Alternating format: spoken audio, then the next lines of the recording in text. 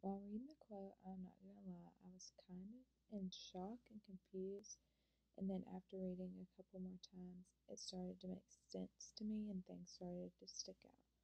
One of the things that really stuck out to me was the tremendous power, which at the end of the day, whether we want to believe it or not, teachers do have a lot of power, but they have to have this power to get across to the kids what they need to learn and for the kids to understand and comprehend and take it on throughout life.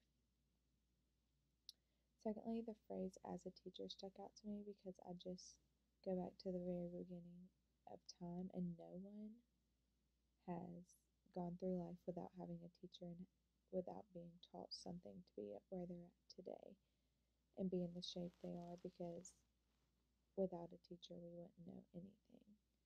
Third thing that stuck out to me was the word response. Being a teacher takes a lot because you are thrown so many different types of things and you never know what kind of reaction or response you're going to get, whether it be from other faculty and staff, students, parents, etc.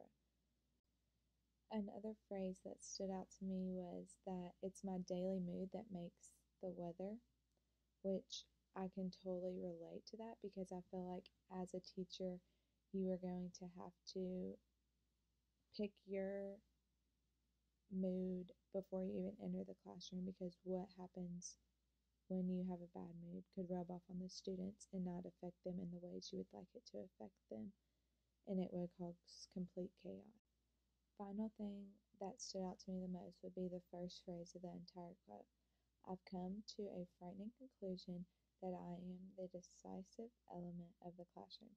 Being a teacher is probably not the easiest field to choose, but I can say I believe it will be 100% worth it, all the good and bad that comes my way. But I will say this phrase says it all. It all starts with you as a teacher on how you decide what type of element your classroom can be in.